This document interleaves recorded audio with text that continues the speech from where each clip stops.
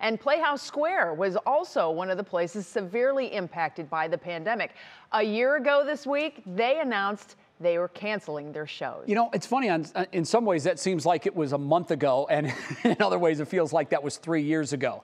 However, now there appears to be a light at the end of this tunnel, and I know so many folks have been waiting for this. Will Ujek has the inside scoop on what it'll take for the theater to get live acts back on stage here in Cleveland.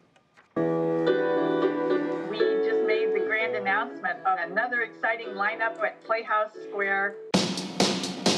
One year ago today, Playhouse Square announced the new lineup of shows coming to over 48,000 season ticket holders, the largest base in North America. Of course, the excitement was short lived. 10 days later, we were out of business. During the year of being dark, they've kept themselves busy, opening an apartment building, continuing to manage properties, and boosting their education program, which now reaches over 80,000 students. And now they're busy trying to figure out how to open the curtains once again it is very complex to sort of knit this all back together. Gina says Cleveland is just one thread in that equation. And no matter what the rules and situation is in Ohio, it'll take a country to get the tours going again. It is a network of cities that need to be open in order for any tour to say that they're going to be able to go out. And you know, we need to be able to be at capacity. More complications come up when you factor in each show that was already booked and the issue of scheduling there was the season we were in.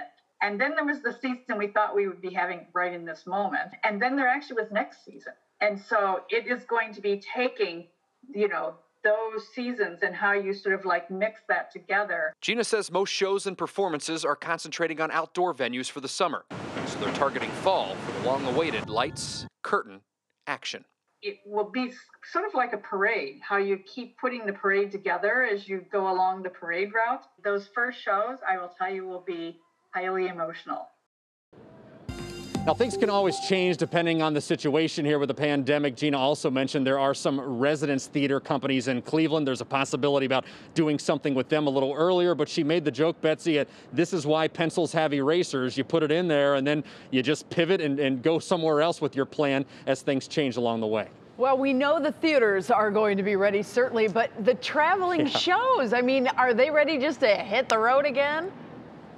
Yeah, it's an interesting question, Betsy, because you know you take something like Hamilton or The Lion King, one of these bigger shows. The sets are built; they're, they've toured before. They would be ready to go pretty quickly.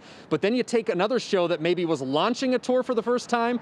They still need to build sets. They need to do casting, things that they're not been able to do during the pandemic. It could take three, maybe up to five months before they're ready to hit the road.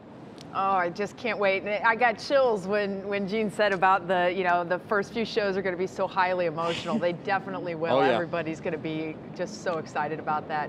And I know you'll be there front and center for it too. Thanks so much, Will. You know it. Appreciate it.